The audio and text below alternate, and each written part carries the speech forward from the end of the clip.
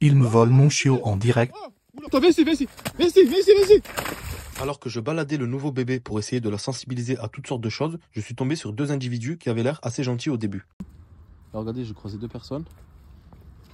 Oui, ma belle, c'est bien, t'as pas eu peur. Bravo. Bonjour, ça va? Savez-vous Ouais, super. Hein On peut le caresser? Ouais, bien sûr, juste évite de toucher les oreilles, s'il te plaît, mais oui, tu peux la caresser, y a pas de souci. C'est quoi comme race? C'est un malinois, ça. Un berger belge malinois. Il a quel âge? Ben là, elle a à peine deux mois. Elle vient- Une femelle. Ouais, c'est ça, c'est une femelle, elle a à peine deux mois, là, elle vient de faire deux mois. Euh, par contre, évite d'apporter, s'il te plaît, frérot.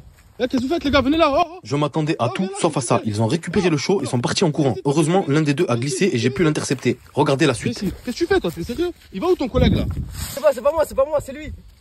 Lève-toi Après avoir attrapé le premier individu, je suis parti en courant pour attraper le deuxième. Regardez, il s'est arrêté au fond, je ne sais pas pourquoi. Il y avait un chien à côté de lui. Malheureusement, ce genre de scène arrive bien trop souvent en France. Stop à l'abandon, la maltraitance et le vol. Dogma